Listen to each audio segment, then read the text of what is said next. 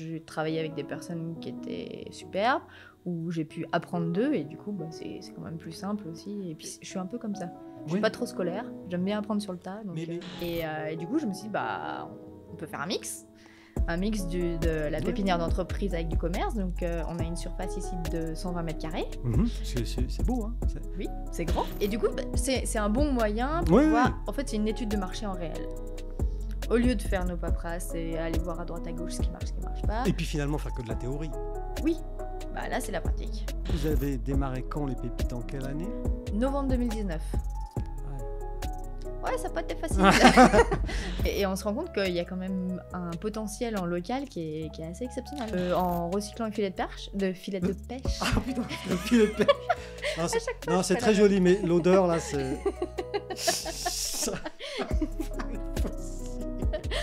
Et c'est vrai que je pense qu'il y a aussi un, renouvellement de génération euh, dans les commerces du centre-ville et du coup, il y a quand même beaucoup de gens qui ont envie de faire des choses. Chablaisienne, Chablaisien, merci. Merci pour vos partages, vos likes et vos messages. Pensez à vous abonner à notre chaîne YouTube. C'est un plaisir de vous faire découvrir chaque semaine de nouvelles personnalités, des femmes et des hommes qui font avancer le monde et le Chablais. Originaire d'Annemasse, personne n'est parfait. Elle a étudié l'histoire de l'art, a été animatrice culturelle pour enfants. En 2010, elle bifurque vers le commerce et l'un euh, et elle est pardon l'une des porte-drapeaux ou l'un des porte-drapeaux euh, du commerce de centre-ville et du consommé local. Aujourd'hui dans Chablaisien le podcast, je reçois Marine Pluchon. Bonjour Marine. Bonjour J'ai j'ai bon hein?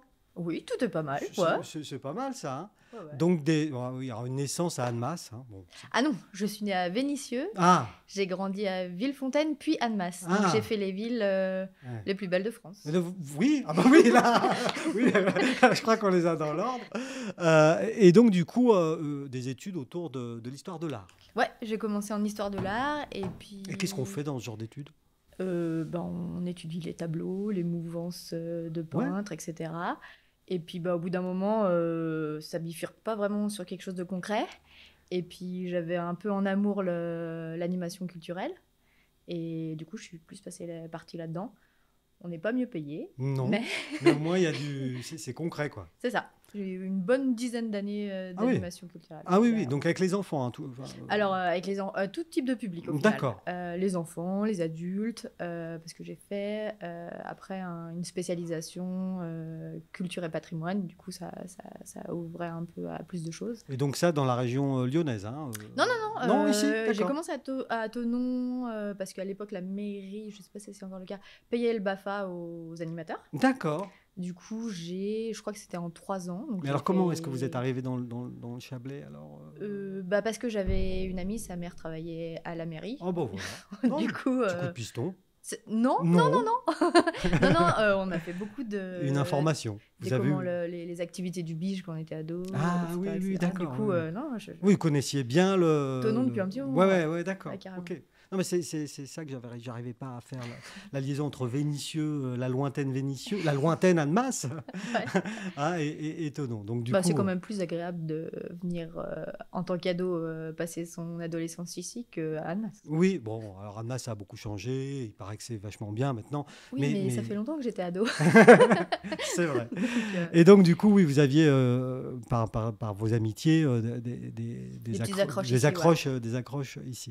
Et, et, et donc, euh, vous avez été donc, euh, dans la culture, euh, et, enfin la culture, en tout cas l'animation culturelle, à Tonon. ouais, et même directrice de centre de loisirs. Ouh, mais où ça? Bah, la Grangette. Ah, bah voilà. Et après, bon, petit différent avec l'IFAC, du coup, Ah. j'ai arrêté l'animation. D'accord. Mais, mais du coup, j'ai une, oui, une petite dizaine d'années à, Tonon en animation. Et, et à quel moment, donc je, je l'ai dit hein, dans, mon, dans mon- ma petite introduction qui est vraiment petite bio, hein, toute petite, hein, euh, euh, vous bifurquez vers le commerce. Mais comment ça se passe ça? Bah, justement, euh, c'était l'été où on était directeur et puis l'IFAC est arrivé. On était. Donc l'IFAC, c'est- quoi C'est précisément? la, c'est la structure qui a repris l'animation à Tonon en 2009, si je dis pas de bêtises. Et les salaires annoncés n'étaient pas les salaires qui étaient sur le contrat quand on les a signés trois jours après qu'on ait commencé à travailler. Oh, mais c'est pas bien ça Du coup, bah, on a fait grève. Je sais pas si vous vous rappelez de ça. Non. Et euh, bah, les salaires ont pas augmenté, du coup on est parti. Vous avez fait grève Ouais. Là-bas, à la Grangette Ouais. En, donc, c'est quoi de- de- 2009 je 2009, crois, c'est ouais. ça ouais. Et, et bah, du coup, euh, on n'a pas eu ce qu'on voulait. Donc, Mmh. on avait pas tous. Enfin, on était quatre directeurs. Je crois qu'il y a trois directrices qui sont parties sur les quatre. Ouais. Une grosse quinzaine d'animateurs aussi qui sont partis sur les 20 et quelques. Oh mon Dieu. Et, et bah, du coup, il a bien fallu que je fasse quelque chose d'autre. Bah oui, oui, oui. Et, euh, et, et, euh, du coup, là, j'ai fait un petit peu de restauration sur l'été. Et puis après, je me suis mis dans le commerce et ça m'a plu. Parce que c'est un truc où j'ai jamais été formée au commerce. Et, euh, et du coup, j'ai aimé le- la relation avec les clients. J'ai aimé apporter quelque chose de différent. Et puis, je, le, le- comment dire le, Ça, ça a été quel commerce à ton nom le, le Euh, J'ai commencé à street art. Street art, bah oui. Oui, je j'étais pas dans le. J'étais un truc assez cool quand bon, même. street art, c'est c'est réputé. Puis, Oui, oui, et puis l'ambiance est bien, elle est bonne. Sans Donc- doute, oui, je je sais Donc, pas. euh, Ce n'est plus de mon âge, Marine. Non, mais je veux dire, j'ai pas commencé chez Camailleux. Quoi, Oui, exemple. oui, ah, Maccabi, c'est plus dénigrer. Sans dénigrer. Mais, euh, mais c'était pas une grosse structure, c'est une petite structure assez sympa avec euh, une mode qui est assez cool, quoi. Donc euh, Street art, quoi. voilà, donc j'étais bien. Ouais, ouais, d'accord. Et puis, et puis bah, ça m'a donné envie de continuer, donc, euh, donc voilà. Donc voilà. Donc voilà. Après, on a monté le standard. Je sais pas si vous vous rappelez, rue Saint-Sébastien. Le standard, alors, donc qu'est-ce que c'était? C'était, il Expliquez-moi. y avait Napa Pierry, euh, North Face, Big Performance. On avait monté une, euh, une, une boutique avec des marques plus sport, Mhm. mais toujours euh, assez qualitatif, euh, etc. Et, et je l'ai dit hein, euh, aussi, alors j'ai un peu savonné sur la phrase, mais c'est- pas grave. Euh, euh, euh, vous, c'est le commerce de centre-ville, hein, vraiment, Ouais. votre, euh, votre moteur. C'est ça. j'aime bien les gens, j'aime. euh, euh, je suis complètement nulle euh, moi-même personnellement pour m'acheter une paire de chaussures sur internet Ah bon? Et j'estime qu'il faut essayer les trucs et du coup euh, on peut pas la relation client est important si on se rappelle de notre client on sait ce qu'il a comme je sais pas, pas comme souci mais comme taille comme petite je sais pas une couleur qu'il préfère etc. bah, Un ongle incarné d'un côté, euh, non, je sais pas, sur les mais chaussures. ça peut être possible Ben oui, ben oui. plein d'autres trucs Mais ça peut être possible, ça, ça fait mal aux pieds. Donc, du coup, si vous le savez, vous pouvez lui conseiller tel ou tel. Euh, Et pour moi, j'aime qu'on se rappelle de moi. Du coup, je pense que les clients euh, préfèrent qu'on se rappelle Et donc, le standard, c'était donc rue Chantecoq, c'est ça? Rue Saint-Sébastien. Rue Saint-Sébastien, pardon. Le gros magasin noir euh, à Langue, qui est Walk maintenant. Mmh, d'accord, oui. Et c'est vous qui avez monté cette. euh, En 2012. En 2012, d'accord. Et maintenant, c'est devenu Walk. Et il n'y a plus que des chaussures. Il n'y a plus que des chaussures. ouais. En même temps, ça s'appelle Walk. Voilà.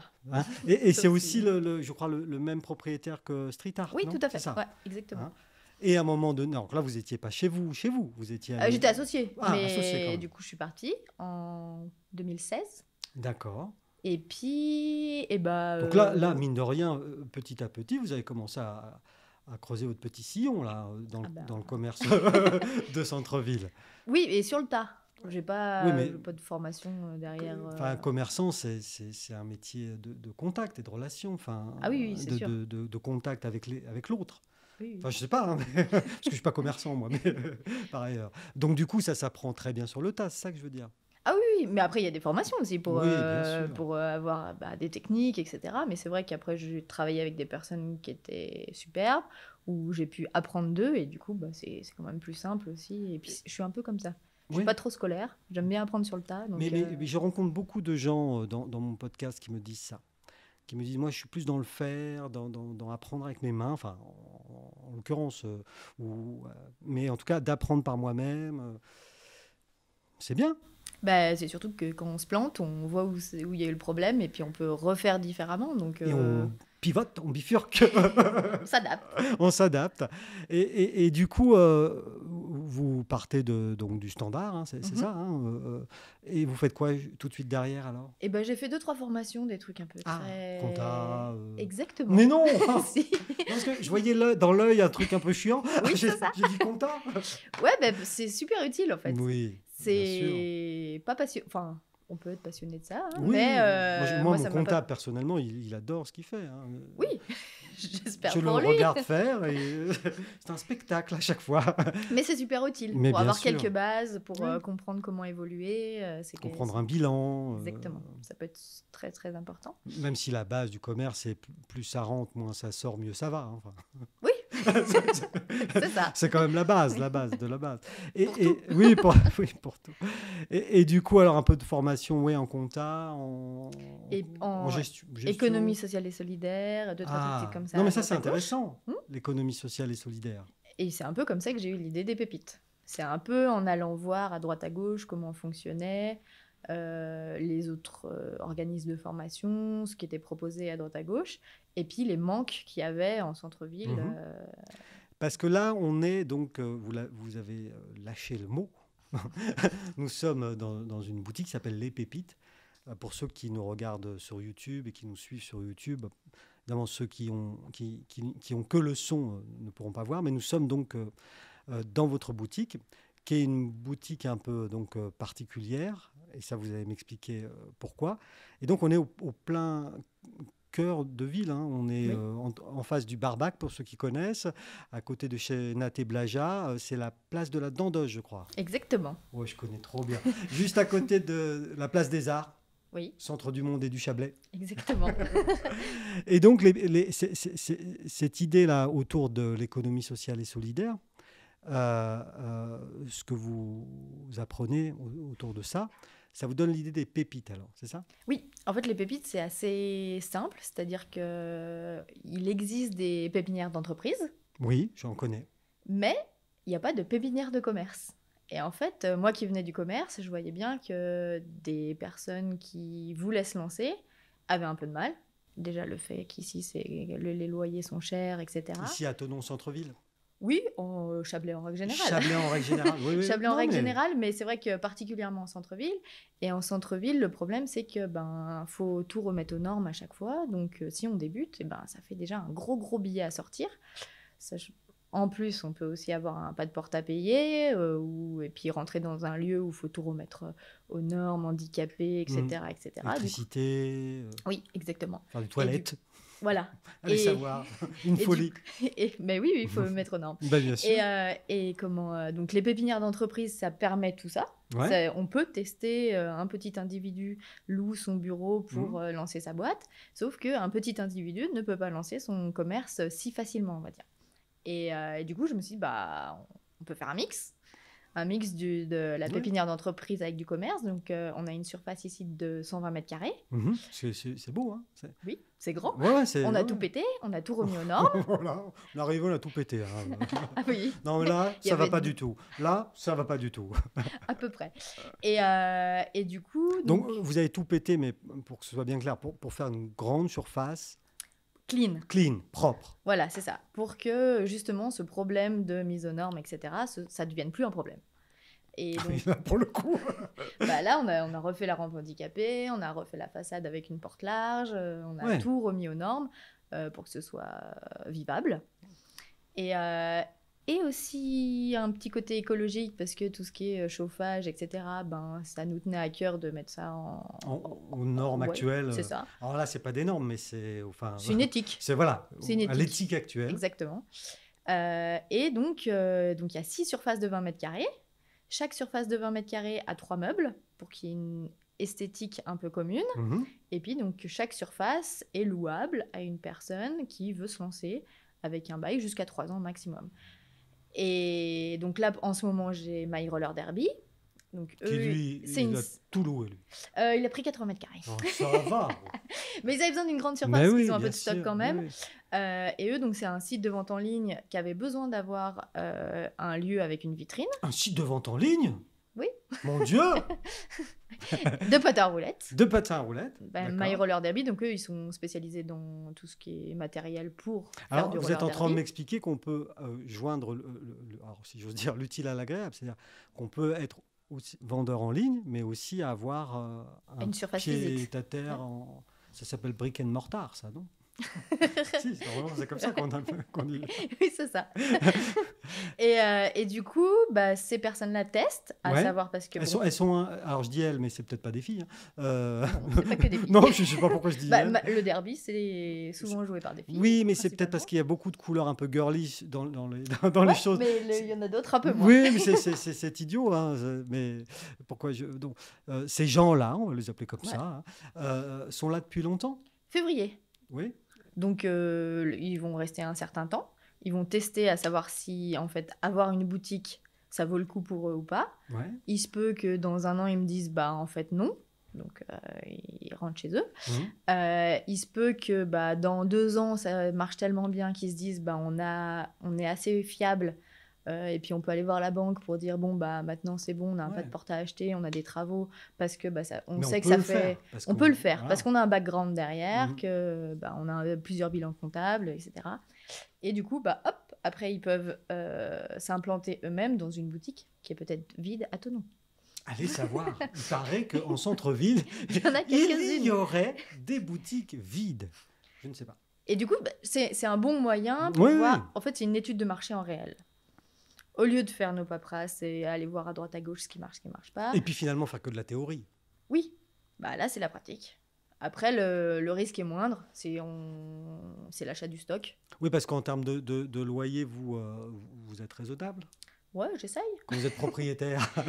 Non, non, le loyer il est raisonnable, il y a des charges. euh, sauf que bah, du coup, on arrive avec ces cartons, puis Ouais. on vend ce qu'on a à vendre parce que ben il n'y a pas besoin de faire un contrat électrique, il n'y a pas besoin de faire non. un contrat téléphonique, c'est tout compris dedans. oui. Donc, le, le- le- on va dire, oui, c'est un peu une, un marché, mais où on peut laisser notre stock toute la journée. Quoi. Et, et- ouais, ouais, et donc, du coup, euh, vous, vous avez démarré quand les pépites? En quelle année?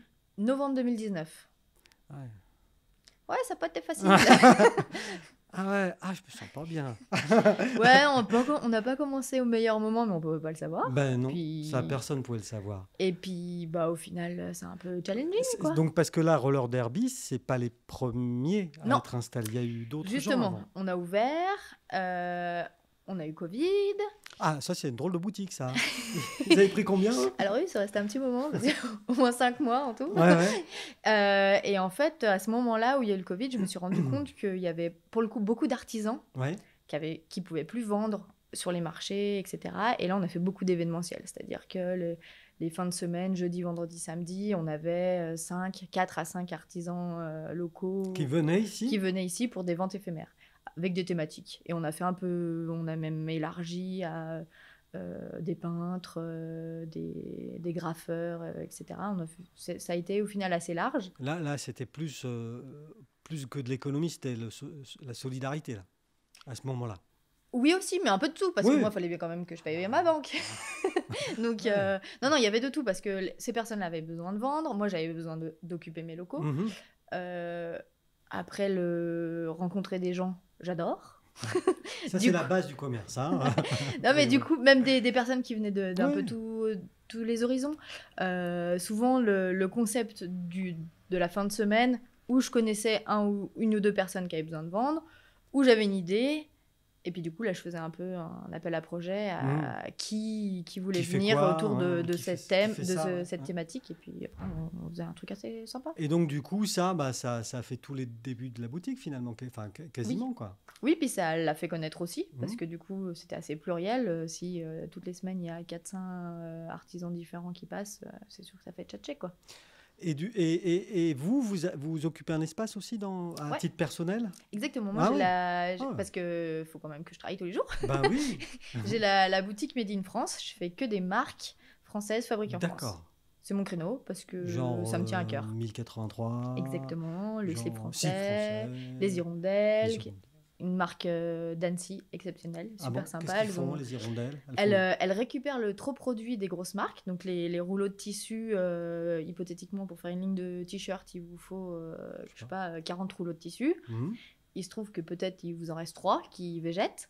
Et ben, elle, elle les rachète et elle reproduisent des, des micro-collections. Comme ça, en fait, le, le rouleau n'est pas détruit. Sinon, avant, les, les rouleaux étaient Ah cramés, oui. quoi. Et là, euh, avec ce tissu, peut font 4 t-shirts. Si, Un si peu on peut... plus, Non, mais enfin, si oui, on peut faire 4 c'est- t-shirts, on fait 4 t-shirts. C'est ça. Des, des, des D'accord. Donc des micro-collections. Exactement. Et c'est elle qui dessine? Euh, oui, elle les Ouais, crée ouais, et puis ouais. après, elles, elles ont des, je- des ateliers où ils Moi, les débarque. Hein. Par exemple, elle, elle travaille avec 1083. ouais. Des fois, 1083, ils ont des rouleaux le, la teinte, elle, c'est pas la bonne, euh, il y a un défaut quelque part, etc.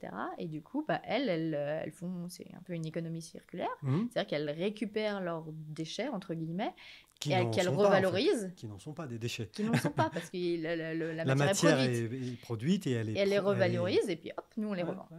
Et donc 1083, vous en parlez, c'est donc ce sont des jeans. Oui. Et, et expliquez juste euh, pourquoi ça s'appelle 1083. Alors, c'est 1083, c'est la distance entre Menton et la pointe de la Bretagne. Ouais. Et donc, c'est la diagonale de la France. 1083 kilomètres.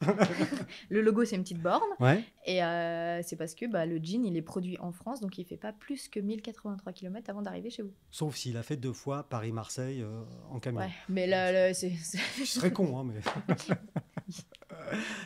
Et, et c'est euh, et, et- toutes ces marques là, vous, vous euh, que, que vous que vous vendez, il y, en a d'autres peut-être non? Je- je- Ah, euh, J'en ai plein, oui. Oui, oui. oui. Le- le- Il y a la Gentle Factory, eux, ils sont dans le nord. J'ai les tricots de Marcel, eux, ils sont à Rouen. Eux, Ils sont vraiment, c'est c'est vraiment euh, dans 20 km. Ah oui, oui, c'est c'est 20 km. C'est très très, très très réduit. Euh, et puis après, j'ai toujours des petites marques en plus. J'ai aussi des créateurs. J'ai un créateur euh, comment, de, Mon- de Montpellier. Lui, il fait de l'upcycling, donc il, ou Alors, du expliquez- surcyclage. Et du quoi? Du surcyclage. Surcyclage. C'est le français de upcycling. Ah, C'est quand vous récupérez des tissus ou euh, quelque chose qui est déjà produit et vous le revalorisez. d'accord. Et du coup, bah, lui, il récupère beaucoup de tissus et il fait des, des petits chapeaux, comment il ça s'appelle des Mickey bretons. Donc c'est un petit chapeau, mais c'est comme une casquette, Hum. mais sans la visière. Oui, c'est parce qu'en Bretagne, il n'y a pas de soleil, donc il n'y a pas Voilà. besoin de, y a pas besoin, pas besoin de Oui, mais il pleut alors, faut Ah. se protéger quand même. Ça. Mais du coup, vous êtes témoin, vous, de ça, de, de, de, de ce renouveau industriel euh, français? Ah oui, oui, et puis ben, le, le Covid, pour le coup, qui revient, Oui. euh, a remis ça aussi sur la scène euh, française parce qu'on a... Mondial, je dirais même. Oui, enfin, Parce que dans chaque pays, on parle un peu des mêmes ça. problématiques. Exactement. Et du coup, on a vu que bah y a des choses qui nous manquaient. Ah, bah c'était produit en France il y a 10 ans Et ça et du coup et ça l'est plus et du coup, il faudrait que ça le, ça le soit à nouveau. Est-ce que donc, vous euh, pensez que... Alors ça, c'est vraiment pour, pour, pour mon information, mais est-ce que vous pensez que ces réflexions qu'on a eues pendant cette période, je dis on parce que tous à plus ou moins à notre échelle, on, on a eu ce genre de réflexion, est-ce que vous pensez qu'une fois que la crise est en train de, gentiment de passer, mais enfin, elle n'est pas encore tout à fait terminée, euh, est-ce que vous pensez que ces réflexions autour de la réindustrialisation, ou en tout cas de la réappropriation de la fabrication de certains produits, ça va rester d'actualité, ça? Alors je pense que c'est des petites piqûres.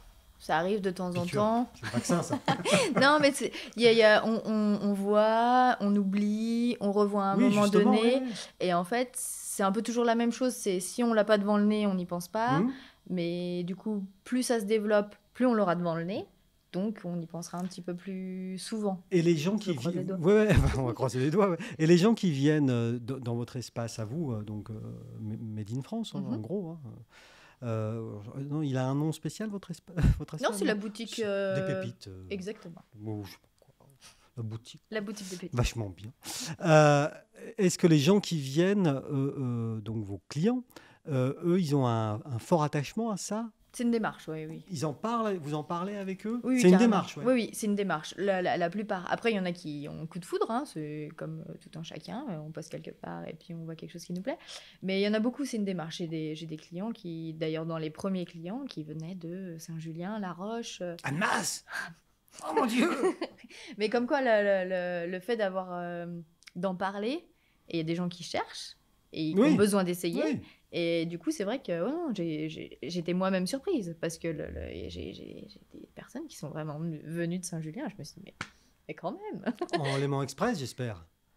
En voiture Hum, je sais pas. Non, non, mais ça, c'est. En vélo électrique, En vélo électrique. En moustache bike peut-être. bah, C'est français, ça. Alors, j'ai découvert encore une autre marque, Mm. Bicycle. C'est une marque de vélo faite à Annecy. Ah, Annecy, c'est Des encore plus gros près. pneus, Oui. un style un petit peu de ouais, moto. ouais. Super joli. Et vous en avez là? Non? Non, je Non, pas. bah, on n'aurait pas acheté, hein, parce que. Mais oui, oui, d'ac- d'accord, Bicycle, ça s'appelle. Ouais. Ben, moustache Bike, euh, c'est pareil, c'est produit en... dans les Vosges, je crois. Oui, Et puis ils sont jolis aussi. Euh, les Bicycle Les moustaches. Ah, les moustaches. c'est pas oui. le même style, mais. Mais il y a un peu de tout, VTT, tout ça. D'accord, donc, euh, et vous allez en avoir des? Non. Alors pas- en fait, le- moi j'ai une, j'ai une surface de 20 mètres carrés que je garde donc, uniquement euh, en pop-up, Ouais, pop-up. que je loue, Expliquez pop-up? que je loue que pour une semaine. D'accord. Et du coup, euh, je leur ai proposé, surtout sur des événements, donc euh, l'été, à voir. Mais pour l'instant, ils n'arrivent pas à produire Ah oui, oui, oui. assez par rapport à leurs demandes. Donc euh, ça viendra, mais je croise les doigts. Donc il y a une, il y a- il y a- alors il y a, un vrai, euh, un vrai questionnement autour de voilà du, du consommer local, enfin en tout cas de la production locale consommée aussi euh, localement finalement.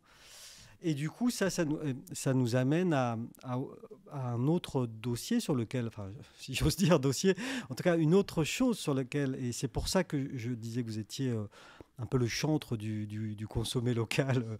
Non mais enfin il faut fi- il faut des figures, de temps en temps des figures de proue. Il faut. euh, C'est vrai qu'il y a longtemps que vous, vous, vous, vous militez pour toutes ces choses-là. Donc bon, vous n'êtes peut-être pas le chantre, mais en tout cas, Je suis pas toute seule. vous n'êtes pas toute seule. Il y a un collectif derrière, mais il y a une idée et ça a été lancé là euh, récemment euh, de monnaie locale, Ouais. qui s'appelle le Chab. Oui. Très bien. Et c'est quoi l'intérêt d'une monnaie locale? Le Chab, déjà, ça va être euh, sur le Chablais uniquement. Donc Saint-Gingolf, Végy, euh, Morzine, Châtel, on va dire, pour faire un peu la, la Le région. triangle des Bermudes. Exact- Exactement, jusqu'au lac.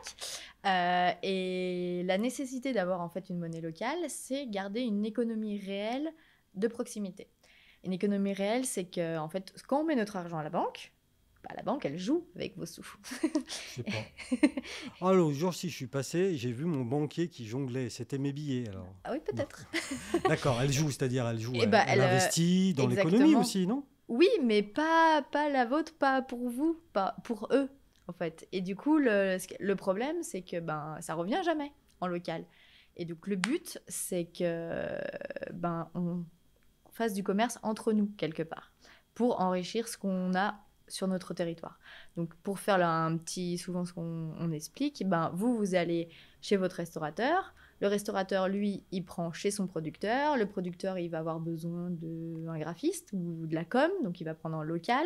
Et du coup, ça permet de laisser l'argent euh, sur le territoire et de faire fructifier vraiment euh, l'économie sur le territoire qui est le nôtre, qui est quand même assez riche, avec euh, pas mal d'acteurs locaux qui, sont, qui ont des capacités, etc.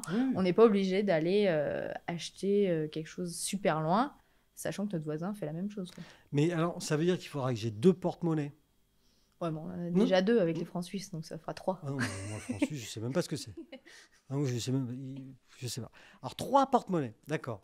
Mais si je comprends bien, parce que c'est pas tout à fait bien bien clair dans ma tête, Ouais. donc euh, je comprends vite, mais il faut m'expliquer hyper longtemps, Marie. Pas de problème. mais après, je comprends vite. hein. Euh, euh, donc moi, j'ai un porte-monnaie avec des chapes dedans. Déjà, je les trouve où? Alors, bah, on a lancé ça samedi. Donc en fait, la... Samedi, le, on était le 11. 11 juillet 2021. 10, 10, 10. 10, bon, 10 juillet 2000. 2021. Exactement. Le... Les personnes qui s'occupent de cette idée. Mhm. Euh, Bah, vous pouvez les citer hein, si vous voulez. Euh, donc on est a une grosse dizaine. une grosse dizaine. Donc il y a Marine Pluchon, Non, non, mais après, on est trop nombreux. on est trop nombreux. ok, très bien. Et euh, du coup, eux, ils ont cette idée il y a 6 ans. Ouais, Et du coup, il a fallu murrir vraiment tout ça parce que c'est pas évident. Il faut avoir le côté législatif, euh, la Bah mise en place, euh, etc. etc. C'est- Et plus le design, le graphisme, etc. Ouais, enfin ça c'est la, c'est la fin normalement. Ah oui, mais on est très fiers de, D- du look de nos billets. Les billets ont un look? Ils sont beaux. Ils sont bons. Ah bah oui, C'est parce que sur le billet, il faut que ça soit représentatif du territoire aussi. Du coup, il Oui, a fallu oui, quand même d'accord. le travailler quand même pas mal. Ça fait six Ouais. ans qu'ils sont Ouais. qu'ils travaillent là-dessus. Moi, ça fait une petite année que j'ai rejoint l'équipe. Oui, Et, euh, et du coup, le, le- quand on a rejoint l'équipe il y a, il y a quoi, oui, il y a un an, euh, ils étaient presque prêts à lancer la monnaie. Sauf que. bon, il y a eu ce qu'on sait. Et du coup, c'est pas si mal parce que ça nous a permis de développer encore mieux, euh, de pouvoir après avoir un suivi du billet, de développer un site internet qui va aller avec, qui soit vraiment euh, où il y ait tout dessus. Mhm. euh, et que ce soit pas juste euh, un billet physique, mais que derrière on puisse euh, vraiment se dire bah, combien de fois le billet a été échangé dans l'année, parce que ça c'est super Donc important. chaque billet possède un numéro, Un QR code. un QR code. Et sur le QR code, vous pouvez flasher avec votre téléphone Ouais. et ça vous emmène sur la map. Et sur la map, vous avez les différents prestataires qui prennent le- le- la monnaie locale. Mais au début, moi, pour l'instant, j'ai que deux porte-monnaies. J'ai euro, franc suisse. J'en ai pas encore de chab. Et je vais les chercher où? À ma, Auprès de ma banque Pas du Auprès d'un commerçant Je les commande en ligne Alors, comble Oui Alors, il va y avoir un système de click and collect. Vous commandez en ligne et vous passez chercher. D'accord. Et du coup, moi, au Pépite, je suis euh, la banque du Chab. Hmm. Je garde votre euro. Mais vous n'êtes pas seul. Ah non, non, non. Vous- vous- il y a Mais pour plusieurs- l'instant, il y aura- les y pépites, oui, c'est une banque de chab. d'accord. Exactement. Et euh, du coup, je garde votre euro. Mais je suis obligé de commander en ligne avant. Non, vous pouvez Non, non, me je voir. passe vous voir, je m'achète un 1083, Voilà. le 1084e, et je, allez, je dis je veux 50 euros en chab. Ouais, ça c'est Et j'ai combien de chab alors? 50. Ah, Ça, c'est la loi. un pour un. C'est la loi Hamon. euh, on est obligé euh, de, de se fixer par rapport à l'euro. D'accord. Et qui existe depuis 2012, je crois, quelque chose comme ça. Euh, et du coup, euh, bah, le, on Oui, pas la le loi choix. Hamon, c'est 2012, oui, c'est ça. Et, et du coup, cet euro, nous, on le garde euh, à la nef parce que on est. À la nef C'est une banque. Ah bon, d'accord. non, non, mais, Non, mais où on fait pas fructifier, en fait. C'est pas, c'est pas une banque privée. vous le mettez sous un matelas euh, sécurisé. Exactement. Et, on n'y touche plus. Et du coup, en fait, c'est ce qui va donner la valeur à votre chab. Parce que Oui. nous, on garde l'euro. Oui, Et si, hypothétiquement, on a un problème, ça ne marche pas, comme cet euro, il est gardé quelque part, il n'est pas ni sur une action ni rien, Non. donc il bouge pas, il a toujours une valeur de 1 euro. Quand vous allez nous ramener votre chab, si hypothétiquement ça marche pas, on peut vous rendre votre euro. d'accord. Ça, c'est le côté confiance. Exactement. Parce Exactement. qu'en économie, c'est une des bases Ah bah oui, de voilà. l'économie, la confiance. Oui, parce qu'il faut que le, votre, euh, votre Mm. chab, il vale quelque chose. Donc il faut bien qu'on mette euh, l'euro euh, de côté. Ok, je viens au Pépite à Tonon, donc je me gare au parking des Arts. Un peu de publicité. Euh, je viens, je vous donne 50 euros, vous donnez 50 chats. Exactement. Ok Je vais sur le site web pour aller dépenser mes chats, c'est ça? C'est ça. Vous allez, vous allez voir où est-ce qu'il y a un prestataire pas loin qui le prend. D'accord. Et- il y en a beaucoup là tout de suite? Alors là, pour l'instant, on est une bonne dizaine, mais parce qu'on n'a pas encore activé tout le monde. D'accord. Du coup, euh, il faut que euh, on puisse Oui, euh, là que dans. ça se développe. Exactement. Et si je prends mes chabs, admettons, Mhm. et que je vais à Admas, Ça marche pas. toujours, et que je veux payer en chab, ça marche pas. À Annemasse, ils ont l'éco, qui, est un- qui est une autre Ils monnaie. ont lo- aussi une monnaie locale. Ouais. Ça- Il y a se- la Gentiane à Annecy, Oh, il y a la LEF, ELEF à Chambéry. chose. le café. Il y a beaucoup de monnaie locale, c'est ça que vous Oui. êtes en train de me dire. Il y en a 82 en France, je crois, à l'heure actuelle. Euh, la plus connue, c'est le Schco, qui est dans le Pays Basque. Oui. Eux, ils sont à 1 500 000 Eusko en circulation. Donc c'est quelque chose qui, qui Oui, fonctionne oui. et qui... Mais eux, ils sont là depuis longtemps. Euh, 2014, je crois. Ouais, ouais, ça fait longtemps. Et, euh, mais c'est un super euh, levier pour l'économie locale parce que et ont un peu un fort caractère au niveau du territoire comme nous. Euh, c'est un endroit qui est très touristique. Du coup, c'est vrai qu'on peut un peu tabler là-dessus pour, bah, pour promouvoir le, le Chablais, quoi, quelque part. Puis le savoir-faire, l'économie, etc. Et, et eux, ce qui est beau, c'est que bah, vous pouvez aller à la bibliothèque, vous payez en Eusko. Donc, on aimerait bien qu'un jour, on puisse aller à la piscine et qu'on paye notre entrée en chab. Eh bien, comment on pourrait faire ça alors? Bon, ça va venir Oui, non, je sais pas moi. non, non, non, il faut. C'est, en fait là, là pour l'instant, on est vraiment dans une démarche pédagogique Hmm. où on va voir tous les acteurs locaux du territoire, euh, économiques, euh, municipaux. euh, les Et, ceux qui et prennent le chab, Oui.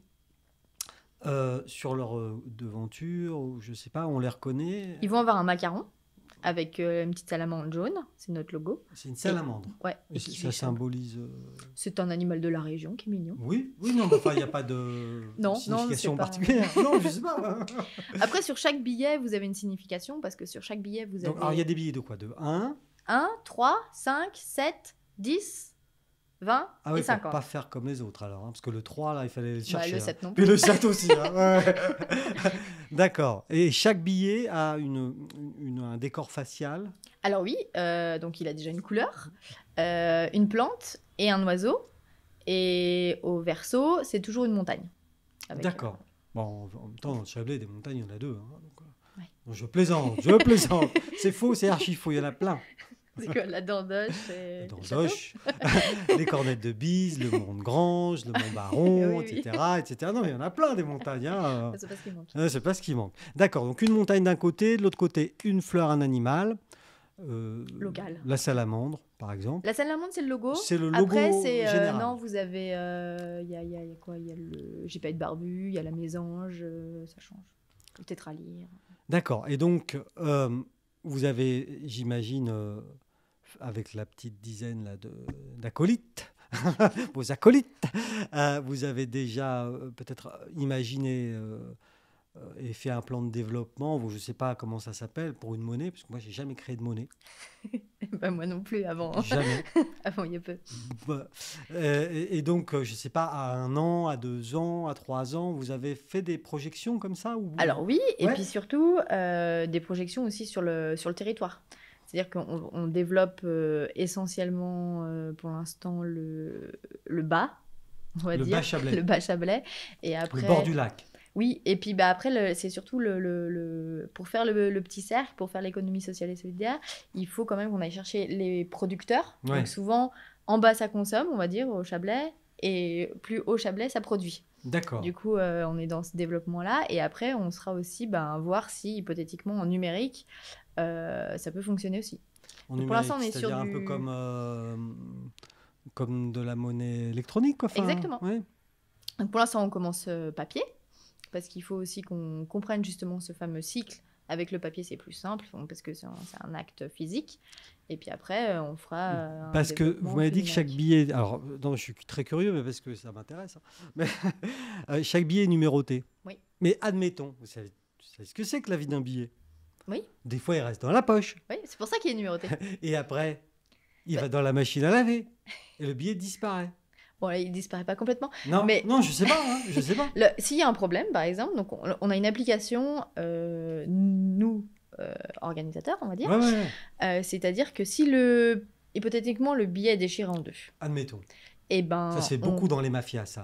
Tiens, voilà la première moitié, je te donne la- l'autre moitié quand le Eh truc ben, est- avec nous, ça n'aura plus de valeur. Parce qu'en fait, donc, si le billet est, est déchiré, en deux, Ouais. on peut le désactiver. Ah oui, C'est-à-dire qu'on flash, nous, le QR code et Mhm. on désactive le billet. d'accord. Et du coup, bah, celui-là, hop, on le jette, on change.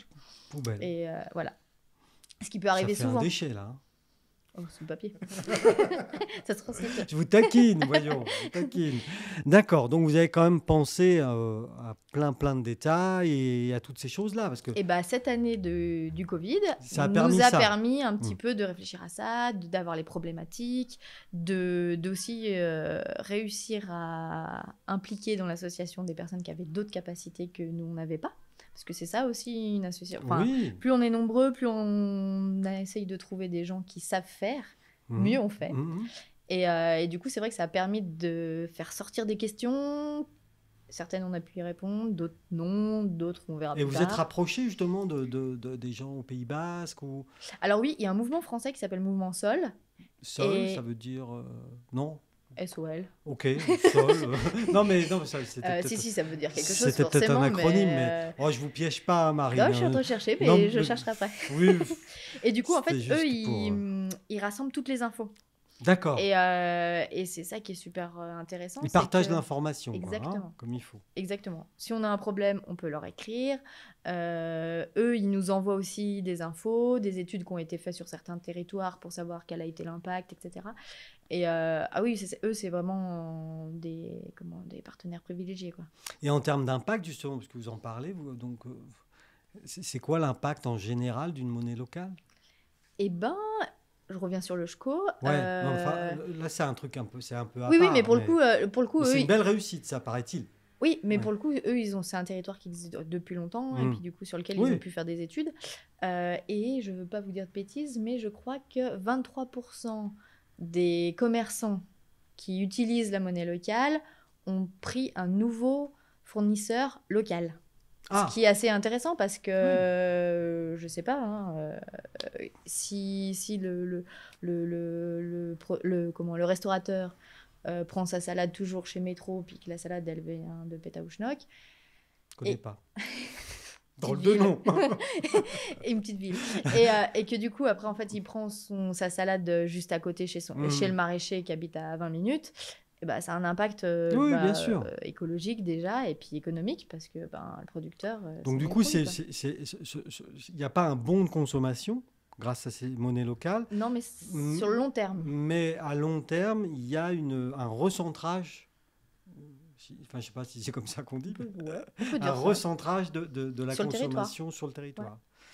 Et, et, et, c'est- et, et ce, ça n'enferme pas les territoires, ce, genre de pratique Ah parce qu'on- non, non, je ne sais pas. On peut quand même acheter des huîtres, mais Bah, qui sont huîtres- pas. Les huîtres de Bon Chablais, Vincent qui est là, euh, qui est producteur hein, de, de père en fils depuis très très longtemps, euh, Ils vendent des huîtres. produit des huîtres, produit des huîtres à Bon Chablais. Non, non, parce qu'on on reste quand même dans. C'est une monnaie complémentaire. D'accord. Donc, euh, on- on- Il n'y a le- pas le- ce risque de, de, voilà, de- de- d'enfermement. non, je sais pas. hein. Et un jour, un jour, ça c'est en développement, mais hypothétiquement, on pourrait payer de notre monnaie locale à une autre monnaie locale. Donc là, pour le coup, Ah, table de valeur. Bah non, puisque tout Bah est non, tout est indexé à tout est l'euro. indexé à l'euro, donc ah bah, ça va à peu près quoi. Ouf. Ouais, mais alors là, oui, mais là, on est au début là. là on est au début, step by step, on va déjà essayer de voir si. euh, Et là, tout de suite à ce, donc là, on est euh, évidemment comme on enregistre bien souvent, bien à l'avance avant la diffusion. Là, on est quelques jours après le lancement. Mais vous avez déjà vendu, à part à, à vous et Alors, vous avez le- le- déjà vendu des, des Ah oui, des chambres, des oui. chambres, ouais. Bah, donc samedi, Enfin, vendu. euh, Échangé. Échangé, samedi c'était le lancement. Oui. Du coup, on a fait un marché avec des producteurs locaux. Mhm. Euh, et il y avait aussi une pièce de théâtre, après coup. Ouais, Super d'ailleurs. qui Euh, s'appelait. euh, c'est Franck Chevalet qui s'appelle la Banque Centrale. Donc Oh. c'est vraiment, il-. C'est un fou qui se prend pour l'État et qui comprend pas comment il peut pas trouver d'argent, trouver de l'argent, se faire avoir, se pas se faire avoir. C'est une comédie. C'est drôle, mais c'est un peu grinçant mais quand même grinçant, quand on, ré- drôle, quand on mais réfléchit. Et, euh, et du coup, sur ce marché, il y avait quand même euh, une dizaine de producteurs, un peu tout, de l'artisanat. Et il y avait le food truck qui s'appelle Good Food. Elle vient de se lancer et elle, elle a vendu tout ce qu'elle a, En toute sa bouffe en chab. Donc là, maintenant, il faut qu'elle rachète tout son stock en chab. Et bah, qu'elle cons- enfin, qu'elle trouve ses fournisseurs qui veuillent bien prendre du chab. Oui, oui, c'est ça. Elle en a déjà quelques-uns. Et puis, ça permet aussi de, bah, des fois, d'aller de découvrir. Parce que si la. Alors, c'est une jeune femme hein, dans le food truck. Euh, si du coup, elle veut casser la banque, elle prend tous ses chabs, elle peut les ramener pour les échanger en euros? Oui, Ouais. elle peut les échanger en euros, mais elle perd 3%. Ah, ça va. Bah non, ça va pas. en fait, elle perd ses 3%, mais nous, les 3%, on les garde Ouais. et euh, Et on finance des projets. Ouais, pourquoi Bah parce que le but, c'est quand même qu'on continue Oui. à faire tourner en chab. Ok, non, mais très bien. Non, mais là, vous m'expliquez tout, c'est super. Oui. D'accord. Et, euh, de- et du coup, nous, on garde les 3% et on finance des, des projets intéressants. Je sais pas. euh, Un euh, food truck. Oui, ou non, plutôt quelque chose, euh, quelqu'un qui a une idée un peu différente, ou euh, bah, le gars qui fait du miel et puis qui a perdu une ruche, bah, il lui faut un petit financement pour, Pour, avoir à euh, nouveau une ouais, ruche. Refinancer Ça une ruche, ouais. correspond aux attentes euh, bah, du chab, parce que c'est du local, c'est de la production euh, Ouais. sur le territoire, et du coup, bah, ça peut Et là, être... qu'est-ce euh, qu'il y a? Il y a une commission qui se réunit pour redistribuer? Ah oui, oui, Oui, oui, oui, là, oui, oui, c'est pas- là encadré, ouais, ouais. Bah, c'est pas juste la Banque centrale chablaisienne Non. qui décide. non, d'accord, c'est encadré. Oui, oui, c'est encadré. Et, euh, et du coup, bah, ça permet aussi de, de voir que l'argent que un, commerçant a perdu quelque part, pas Il vraiment y a une perdu, solidarité. voilà, c'est ça, est redistribué à quelqu'un qu'on a besoin. Et, et cette espèce de, de- de bureau de la Banque centrale, si j'ose dire, dont, dont vous m'avez parlé tout à l'heure, une dizaine de personnes. Mhm. est-ce que ce sont des gens qui sont élus au sein d'une association ou est-ce que c'est des gens qui sont autoproclamés? Donc on est dans l'autocratie ou est-ce qu'il y a des élections? Comment Alors, c'est une association, Ouais, donc il y a, euh, voilà, il y a, il y a- mais on n'a pas de bureau. Il n'y a pas de bureau, d'accord. C'est une association sans bureau, Exactement. sans conseil d'administration. C'est-à-dire que un membre, une voix. Exactement. Oui, non, mais je, et je puis, on, on fonctionne euh, démocratiquement, donc des Ouais. fois c'est très très long, parce qu'il faut que tout le monde... Le processus démocratique, ça peut être. Sauf long. que au final, euh, ben, les décisions qui en ressortent, elles sont solides. Donc, euh, A priori. Bah, on est 10-15 à être d'accord. Ah, ah, parce que c'est à majorité. Ah oui, oui, oui, C'est à, cent- Il faut- à- à unanimité. Il faut que tout le monde soit d'accord. Oh oui, mon Dieu Non, mais d'accord. Non, mais, mais c'est bien. mais du coup, ça, ça permet l'argumentation, ça Ouais. permet le- la discussion, et puis, euh, et puis oui, oui, non. Et si je suis pas là, moi, le jour J, Et ben, Est-ce on- qu'on remet. euh, Ça peut, ça peut, Non, être- je sais pas. ça, ça- ça peut le comment dire. Ah, je bah, vous taquine un peu. Non, mais, non, mais c'est super important parce Bah que oui. des fois, à un moment donné, on a pris une décision et puis sur le terrain, bah, ça n'a pas été comme on a pensé et ben il faut revenir dessus puis la retravailler. Donc euh, non, non, c'est important. Donc là, vous êtes, euh, vous êtes calé euh, pour euh, les deux, trois prochaines années, là, du coup, hein, en lancement, en lancement de- du. Ouais, ouais, Hein ouais, là, là, et puis là, on est en phase d'accélération. Et il est euh, imprimé où, ce Chab? Alors, il fait trois ans. En Turquie. Non, pas du tout. c'est dans le centre de la France, mais je crois qu'on n'a même pas le droit de dire où. Ah, bon, bon. Et il y y a trois imprimeries différentes. D'accord. Dont une, c'est les mêmes que les billets de 5. Euro. Euro, oui. Ah ouais. Ah oui, non, bah, bah, il y, a, il y a plein de, y a plein de trucs Et- et de- dessus. C'est pas alors- un simple papier. Non, quoi. non, mais je ne sais pas, moi, justement, je, je, je ne sais pas. Vous, c'est pas des, des cailloux, ou des petits cailloux. Non, non, non. C'était ça le début. Bah, oui, oui, oui, sans doute. coquillages. Oui, sans, sans doute. Euh, des salamandres séchées. Tiens, Non, c'est protégé quand même. séchées. Oui, Elle elle morte, est morte. je l'ai fait sécher. euh, On le met dans l'eau, elle revit. ah bon D'accord. Euh, et du coup, donc là, oui, bon, pour les, pour les prochaines années, c'est lancé. Et su- sur ce billet-là, il y a une sécurité en plus du QR code et du numéro ou... Oui, il y a quand même. une petite bande euh, Oui. brillante là, euh, Oui, oui. qui holographique. Ouais. Et puis bah il y a le numéro, il y a le QR code. Et alors, on a parlé d'un imprim- d'un imprimeur. Donc ça veut dire que ça a un coût? Oui, on a eu un mécène. La Banque de France. Non, un mécène local Ouais. qui, qui a dit bah ok. Mais qui moi, veut je- taire son nom. Euh, oui, je pense. Bon, d'accord. Non, non, mais très bien, très bien. Très bien. Et, euh, et du coup, Non, lui, sinon, le- c'était le- le... moment d'en parler, c'est ça. c'est- Oui. Mais s'il veut pas qu'on son Et, euh, et, et du coup, parce que lui, le projet l'intéresse, Ouais. et, et du coup. Parce que, alors, peut-être vous pouvez pas me dire, mais sur les premières impressions, là, c'est un budget de combien? Parce que ça, c'est assez sais fou, quand Je vais même. pas vous dire de bêtises. Bah mais non. oui, oui, mais il y a- il y a- c'est c'est un budget important. hein, c'est un budget important. Mais on ne sait pas. Euh, Je, je crois que c'est 5000, mais je suis pas sûre. 5000 euros? Oui. Oh, ça va. Bah ouais. Oui, oui, oui, ça va. Mais c'est comme un budget. je m'attendais. Oui, c'est un beau budget. C'est un je budget euh, où. Je m'attendais à, à- à plus. À plus, c'est Oui. du papier quand même. non, mais il y a quand même la sécurité, il y a quand même tout ça. Ah oui, oui. Mais Donc, après, il y a euh, beaucoup de développement qu'on a fait nous, au final, dans, dans, l'association. Donc euh, c'est vrai que, bah, par exemple, tout ce qui est protection, numéro, etc., ça c'est nous qui l'avons fait. Donc euh, Oui, oui. Donc vous avez beaucoup travaillé aussi bénévolement, quoi. ouais, c'est ça. Dans- et, puis, dans on le a, et projet. puis, comme je disais, y a, y a- on, a, on a des tronches qui font partie de Ouais, l'association. alors ça, on est bon. alors. Du coup, là. Non, il y a des trucs, euh, enfin, que chacun a, sa, a ses capacités. Et du coup, c'est vrai sûr, que ouais. tous ensemble, euh, ça fait un truc chouette. Donc ça, c'est un beau projet aussi, donc en, Oui. en- en matière de, de- de commerce euh, local et de- d'économie euh, locale, consommer local. Ouais. Donc j'avais bon en fait dans mon portrait du début, que Oh t'es oui. court, hein, mais j'avais mais bien bon. ciblé. et du coup, euh, pour les pépites, euh, là, euh, roller derby reste là encore longtemps, pas longtemps. Bah, eux, ils ont un bail de 3 ans. ah oui, d'accord. Donc, on donc a- ils peuvent pareil. encore rester un moment. Par contre, donc mon espace pop-up, il change un peu tout le temps. Euh, il y a un mois, j'avais Les Empreintes, c'est une marque de cosmétiques d'Evian qui lançait son parfum. Donc, ils Oui, parce qu'il y a quand même un- toute une espèce d'émulation quand même. Il y a plein de gens qui font des trucs bien. Ouais, ouais, ouais. En fait, c'est plus, plus on ouvre les yeux, ou plus on cherche aussi. Moins on, on se prend des portes. Il faut allumer la lumière. Mais, et, et on se rend compte qu'il y a quand même un potentiel en local qui est, qui est assez exceptionnel. Donc vous aviez les empreintes, c'est ça Eux, ils font des- des- de la cosmétique, vous dites Ouais. Cosmétique bio et local, parce Ouais. qu'ils prennent euh, les produits euh, vraiment pas très très loin. Euh, il y a 15 jours, on a eu, euh, comment elle s'appelle UF, euh, F2M, pardon. Elle fait des vêtements anti-UV à Ah, base d'accord. de en recyclant un filet de perche, de filet de Euh, pêche. Ah putain, le filet de pêche. Non, c'est, très joli, mais l'odeur là, c'est.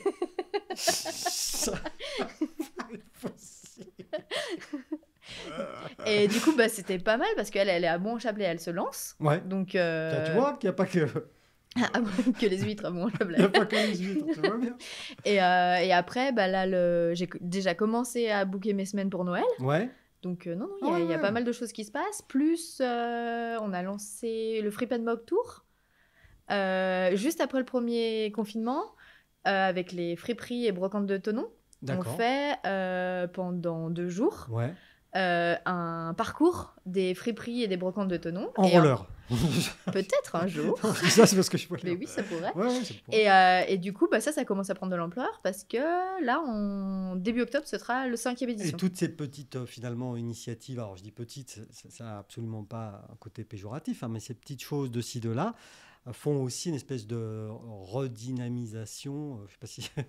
euh, Bah, en fait, plus on connaît mieux son voisin, hum, mieux on fait des trucs ensemble, plus je pense euh, le, le- on attire du monde, quoi. Et c'est vrai que je pense qu'il y a aussi un, un renouvellement de génération euh, dans les commerces du centre-ville, et du coup, il y a quand même beaucoup de gens qui ont envie de faire des choses. Et qui, qui ça bouge un peu, quoi. Ouais, non, mais moi je, je trouve. hein.